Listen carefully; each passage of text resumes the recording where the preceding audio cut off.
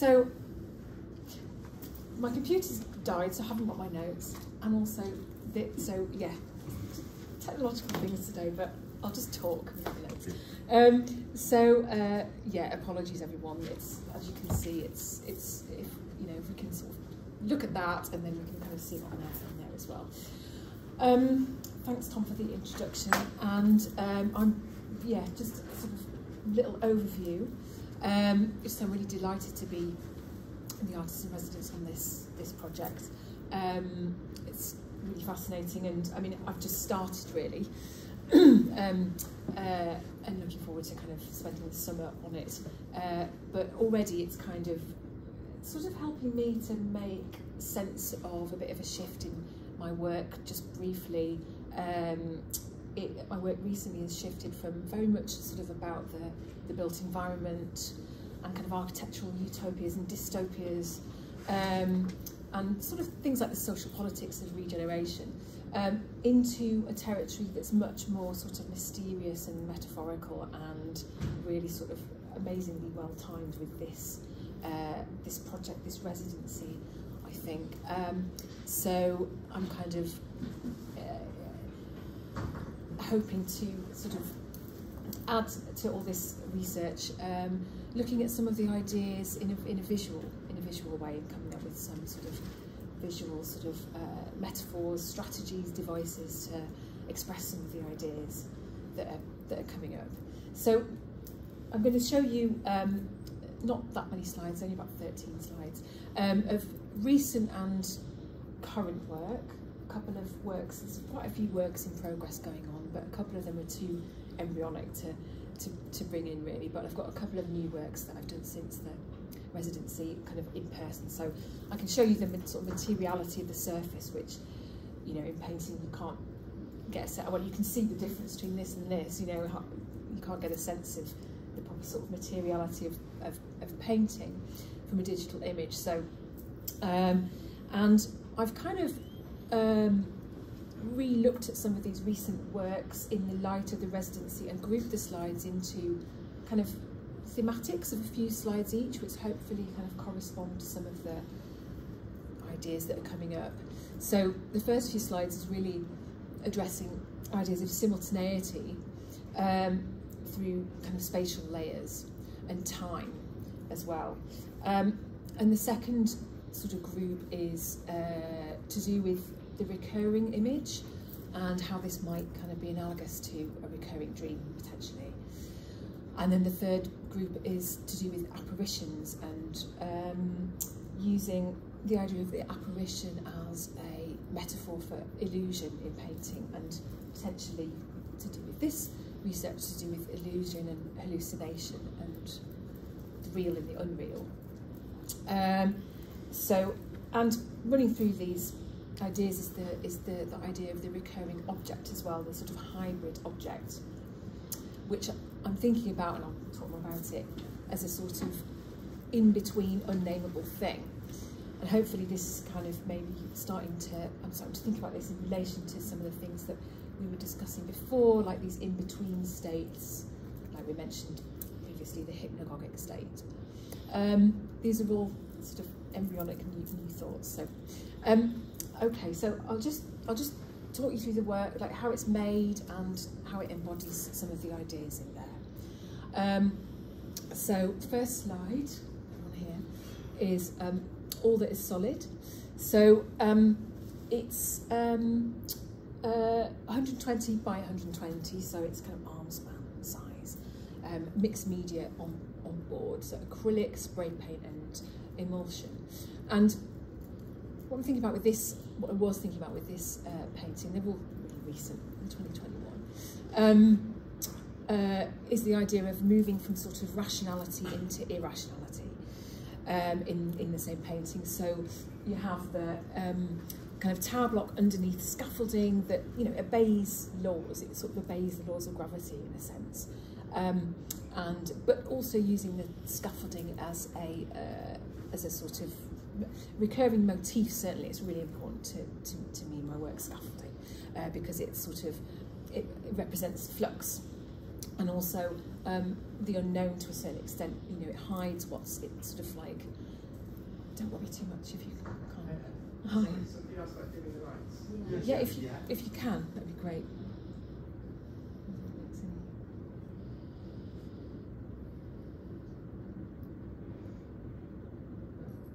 I'll just sorry, I'll, we won't, we're looking at you now. Um, let's carry on. Um, um, so you know, it conceals what the reality, in a sense, of whether you know, for example, whether a building or monument's going up or, or coming down. So that's the sort of reason for it. And then as the painting kind of comes forward, I don't which one's, um, towards the surface in a sense, I've used, um, tried to make the ground, the idea of ground, unsolid and destabilised. So by using um, these handmade stencils that I make of grids, which are emblematic of architecture and control of space, really, as well as lots of other things. But um, and then sprayed with spray paint various times so it becomes sort of diaphanous and layered and literally sort of unsolid. And the, the stencils are always handmade, which is quite important because it's kind of a, this is an aside, but it's kind of a laborious process that allows for thought. And also they, they're a bit wonky because of that. So to use a technical term, so um, uh, which creates more sort of confusion in there. And then coming forward again into this kind of cartoon uh, language, quite absurd language really, um, thinking about the, the most simple, sort of silly way that you could you could suggest a landscape with a, you know, a tree kind of like that shape, almost like a, a lollipop, but and graffiti as well, uh, which is a recurring motif um, too, which is kind of like a symbol of urbanism and also an idea of kind of chaos, and chaos recurs in in the work. Um, so, but it brings, hopefully brings the viewer from the illusion back to the surface of the painting, um, which is really important. I'll touch on it later to do with this research about the idea of the object and the illusion and, and, the, and the kind of the reality of the object the illusion of the surface and how that might relate to dreaming and, and waking. Um, so next one, hopefully you can see. So it's called Speculation, and this is um, 160 by two meters. I think that's wrong. Um, but it's kind of, I think it's, it's 150 by 180, so it's it's a size that I work on a lot. I've got two, a, a few new ones um, at that size happening. Um, but this really, the main uh, sort of point about this is um, about time and having uh, I'm really interested in you know in some of the research that that we might have touched on yesterday and missed it but um, about um, the difference of experience of time in dreams and time in, in wakeful consciousness um, and so this one I wanted it to sort of move from night to day in within the same painting so moving across in one image from from yeah from night to a, a sort of day um, and it's something I think I'll be kind of further further ex exploring actually, but that sense of like the possibility of, of all time being in this one one surface. Um, so using the moon, I mean, it's kind of like a, you know, I've, I've it, it's painted in a romantic way. So it kind of alludes, the moon alludes to, um, obviously it's a signifier of nighttime, so it's sort of telling you that. But it very much kind of alludes to romanticism in, in painting. And also I think uh, uh, for me, something about sort of belief systems as well. There's a lot we put into the moon, a lot of kind of ideas and, and, and sort of folkloric myths and things. Um, and then um, this pile of tyres um, is also like a recurring motif that keeps coming coming up, this recurring kind of edifice, something that's kind of human made and it's a you know large structure, but it's not exactly architecture, so it's kind of vernacular. Um, and, in, and importantly, really, the purposes of this to be read in in two ways or, or multiple ways. That it could be just like in a scrapyard or something, or um, it could be a sort of protest or barricade um, edifice as well. So things, I'm really careful in the paintings, um, and I'm kind of looking at this in the light of what you know we're talking about um, to have these objects or things that are sort of unclassifiable or slightly undefinable and moving between different uh, readings or, or states. Um, all kind of tied together with this very warped grid, which um, is um, again this sort of it, sort of instability, um, and it's kind of oscillates. It's hard to see because I haven't got the, the painting here, but oscillates between three dimensionality, which it, it looks in an illusory sense, but uh, when you see the, the work, because it's spray paint, it's incredibly flat. There's no materiality or physicality to it at all. So it sort of slips away from you in a way. And I've used the black and white to create a sort of sense of sense of shadow, this sort of shallow depth. Um, the painting's actually structured like a like a classical painting, uh, like an Arcadian landscape, but taken into the realm of slightly dystopic area really, so that you, you uh, which how classical landscape functions is that you move, you zigzag into it like that. So there's a sort of rational composition, but then irrational elements. Um, next one. Um, and this one, Delusions, is a similar size. Um, and this is really trying to of explode notions of composition in a sense of traditional composition. So to make something that feels delusional almost, whether the painter is delusional or, or the viewer, but hopefully has a sort of um, slightly hallucinogenic quality to it, um, where everything is, unlike the last one where you can kind of move through it quite easily visually, with this one it's kind of sort of blocked. It's like everything's competing to get out of the painting. Um, and um, so it's quite it's quite full on when you see it. Um, but also uh, this idea of trying to paint fire as well, which um, is a kind of you know a sort of another kind of symbol of chaos in a sense, and the the you know burning burning tires if you can't see what it is. Uh, trying to capture the most incendiary momentary thing I can sort of think of in paint. It's really difficult to, to paint fire because it's not static, it's just ever moving and just an, an aside, it's always important um, in my work to have like a sort of technical challenge with every painting so that with every every single work there's always something that I kind of think how on earth am I going to do that and I can't work it out and then I have to sort of work it out. Um, so that's another sort of recurring, recurring theme, recurring image. Um, this one, Night Moves. It's a bit hard to see, which is the point. Um, so what it is, this pile of, again, the pile of tyres that seems to kind of disappear into the darkness, and then this scaffolding, which is obviously a sort of impossible structure. Um, the scaffolding moved from being quite rational from the first image into now it's just sort of, it's quite ridiculous really. It kind of can't possibly sort of exist. Um, it looks like it's lit, so perhaps it's on fire or, or whatever. This is a little painting of that scale over there, and again, it's where all the kind of elements are trying to try, fighting to get out. But the point of this really is to introduce the idea of the darkness, um, which definitely is going to be a thing that I'll be uh, sort of exploring more and more through the residency. Um, the idea of making a painting that you can't see. Um, I found that really interesting, you know, because painting is all about seeing and looking. And so if the if you make something that you, you can't you know you can't quite grasp what's going on, it's sort of an interesting proposition. And I think I'm going to do that more. Um, the idea of having a very dark space where things are hinted at and you can't quite grasp what what they are. Um, next one. So the next, oh yeah, that looks okay. Um, the next sort of few slides are introducing the idea of the recurring image.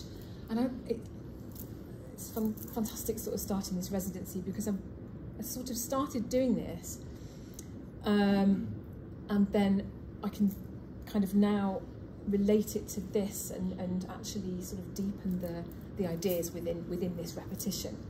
Say. So there's a painting that I'm obsessed with. I've got it here uh, which is um, from 1609, Adam Elsheimer's Flight into Egypt. It's, it's, little. I thought it was massive and it's really tiny. Um, I'll, I'll, talk briefly about that in a minute. Um, but I've kind of started to, to use it again and again. Um, and it, it, it kind of it's quite interesting. So as I said, it's functioning for me as a as a recurring image and the idea of a, a recurring dream. But I can't ever, and so I'm painting it again and again, but I can't paint it the same way twice. I can't do it. Uh, so every time it's it's different, it shifts. So it, it's kind of like that place in the dream that you, you keep returning to, that recurring that recurring place that's familiar, but it's not, it's not, it doesn't really look how it does in reality, and you can't ever quite grasp it. Um, and so with this one, I mean, it's just, it's an excerpt from, from the painting. It's little, 60 by 60. Um, briefly, it's done in acrylic glazed layers, so uh, which creates a very flat but very, um, uh, what's the word? An image full of kind of depth, but that's, that has no surface. Um, and then there's this kind of hybrid imposter object um, intruding in this historical space. And so this is one of the kind of hybrid objects that I'm working with. That it references modernism or public sculpture or um, you know a monument or something, but it's not either one of these things. And uh, I want it to sort of function as a as an imp imposter into this historical space, therefore destabilizing it and making it unreal. It's not it's not real. I think I'm sure Matt and Tom talked about the dream as imposter.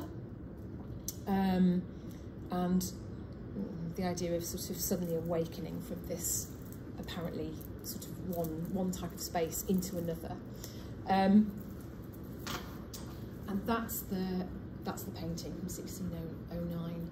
Just briefly talk about about that. Um, so I love this painting so much because it, it, it, it's so early and it just feels like it's out of time It just feels like such a later painting. How there's sort of there's a biblical narrative, but it's really like he's not that bothered about that. I don't feel he's it's kind of quite sidelined. And it's all about that landscape and the moon and the almost black trees um, and the kind of unbounded, unboundless sky. I think it was about the same time that Galileo's uh, treatise was was was was uh, came out with all this sort of new um, uh, view of the moon and also the sort of the idea that the Milky Way was separate stars as well. So it sort of like coincides with this time of discovery as well. Um, and it's just so gorgeous. But uh, but it's been very in, it's very interesting, sort of recurring painting it, painting it, and understanding about how the dark functions and how sporadic illumination makes somewhere even darker than if it if it wasn't somehow. So anyway, here it here it is again.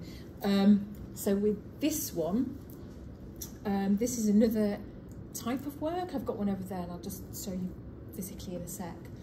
Um, which is again about simultaneity and seeing two things or more than more than two things at the same time. So thinking about how how that relates to, to dreams and the kind of overlaying of visual imagery that's so dense sometimes to be able to kind of unpick that is kind of impossible. Um, and so I want that with this one where the pictorial hierarchy, background and foreground, is just really, it's not there. So it's the, the two sort of things are fighting. So how it's made briefly, because it's, it's, quite hard to see because it's flat, um, is that the, the painting or a version of the, the historical painting sits underneath and then I just paint over with masking fluid with big brush strokes and then there's another layer that comes on top of that, which is the really sort of silly cartoon landscape. Um, and the masking fluid is, is peeled off. So you, you, it's hard to tell what comes first and what comes second, is, is the idea. And I really like the idea of absurdity as well. And hopefully that relates to some of the research in, in a sense, in terms of sort of visual absurdity. Um, uh, and the way that you know these kind of really cartoon clouds sit against the kind of classical clouds, um, rendering the whole thing kind of un unreal. Um, so this one is a work in progress.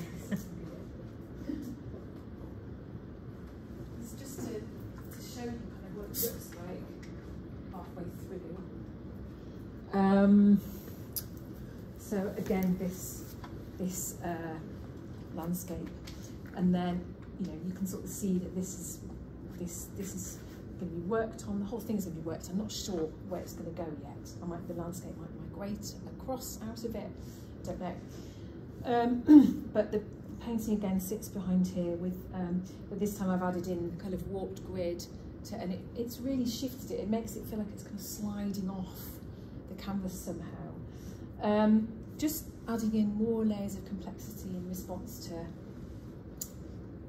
this sort of idea of visual layers, simultaneity of time, um, and place as well. Um, and of course, like, it made me think about the actual original painting that I keep going back to, which is an illusion in itself because it's not a real place anyway. It's another illusion that I'm kind of returning to with these new illusions. Um, so, and the next sort of little series, if you like, these aren't um, chronological, by the way. There isn't a movement from one thing to the other. I'm going to be using all of these like elements, all in the same painting. So, um, but this next sort of few slides are about sort of the idea of the apparition, um, which occurred to me is sort of a kind of came out of reading uh, Michel Foucault's ideas of heterotopia, uh, which I absolutely love. It gets you away from the binaries of dystopia and utopia into this weird kind of in-between sort of space where spaces, events, things even are sort of reflections of society but with inverted rules or also something existing in two states at the same time which he, he says, uh, for example, is the mirror. So it's a real thing and it's a reflection which isn't real at the same time. I think this is really fascinating and hopefully relevant to this research as well.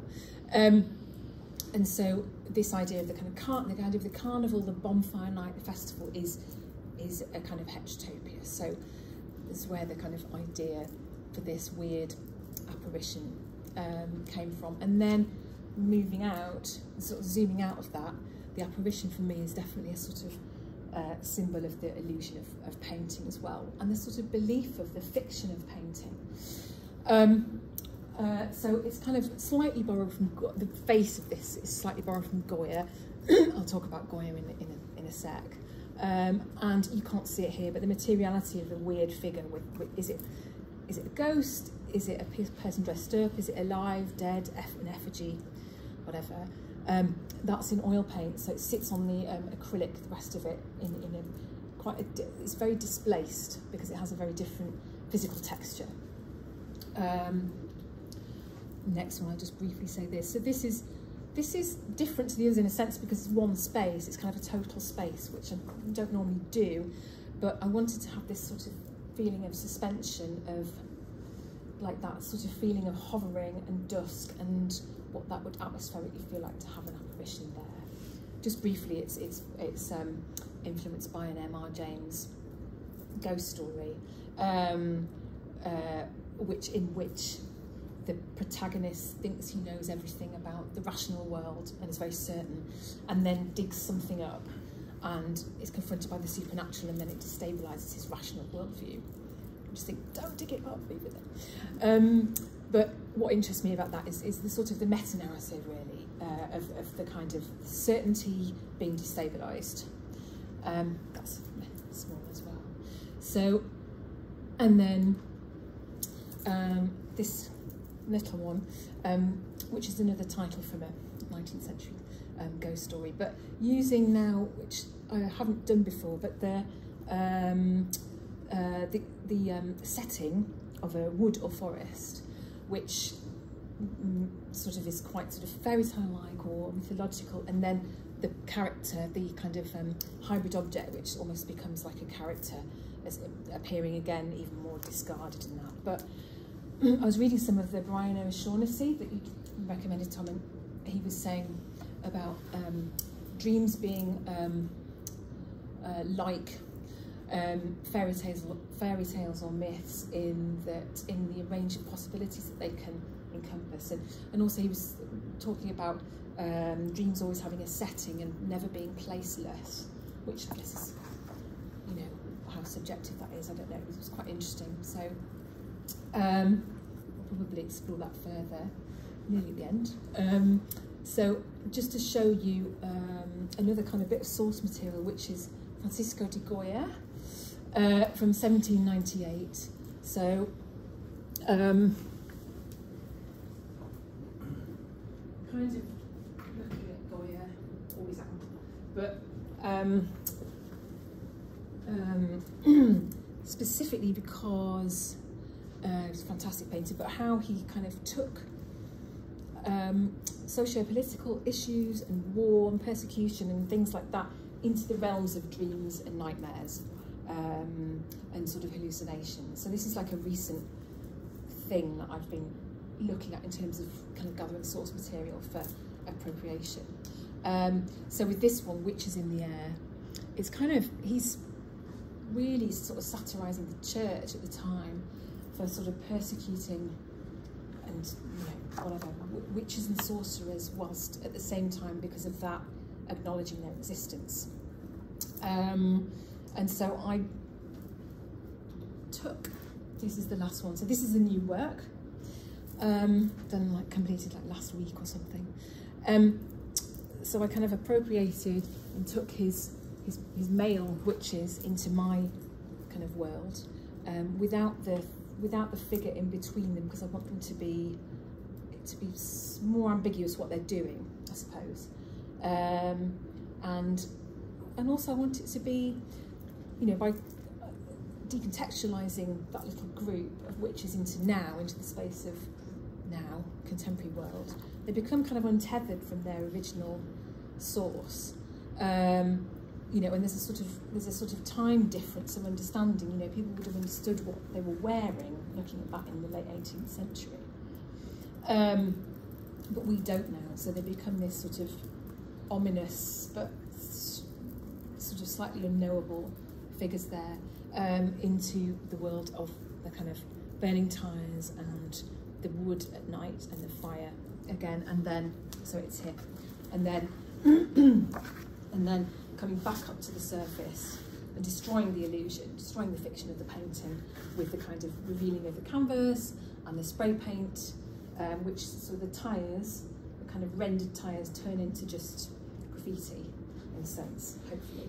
Um, there's a bit of a nod as well to, to Max Ernst here with this splash, which is the way of starting the painting. I just chuck it on. So it's a sort of accidental mark, which uh, the surrealists used to kind of do um, as a sort of a way of, you know, potentially a way of accessing the subconscious, seeing an image in an accident. So I thought, oh, yeah, I'm going to use that. But also, for, for me, it became a way of like starting the painting, of igniting the painting, of starting, you know, commencing work, um, but also a way of sort of orientation, and then the kind of drips become trees, and then the wood gets integrated into there. Um, so that's that's the, the latest. So I think that, so in conclusion, really, um, so broadly I'm kind of thinking um, about painting itself being a kind of uh, metaphor for, um, well, actually sort of functioning as real and unreal at the same time. So, because the painting obviously is a real object in space, that exists. Maybe this relates to wakeful consciousness. Um, but the, what's on the surface of the painting is obviously an, an illusion and is, is fictional and it's not real. So I feel like this is, and it, it, sort of looking at some of this research, starting doing this residency has really made me think about this, so I'm pleased. Um, but, uh, and, um, and so how it, how it sort of almost is a, as a thing, a special thing really, that can exist in two states at once. So thank you very much for listening and, and